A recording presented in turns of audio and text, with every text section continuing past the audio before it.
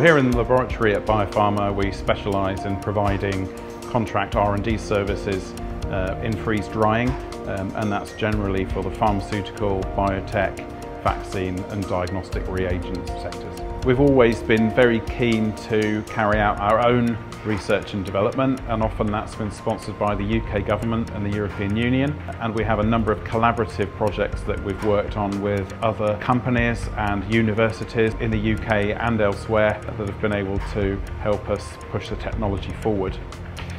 We've got a number of services here, right from the, the very basic one-off analysis uh, through to helping people with formulation development, cycle development, robustness testing, uh, quality by design and scale up. Right from the beginning, uh, the Biopharma Group decided to develop instruments that will be very useful uh, just for ourselves in helping uh, people formulate their products. We're always looking for ways to improve the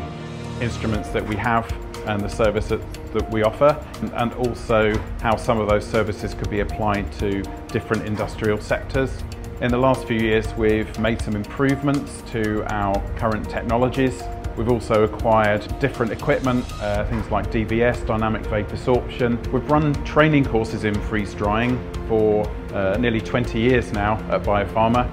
um, and we started off running them in our home city of Winchester in the UK and in 2003 we started running them in the US uh, and now these courses internationally are regular fixtures in our, in our annual calendar so we have uh, specific courses that are hands-on here in our Winchester laboratory. We also run classroom-based courses in various countries throughout the world.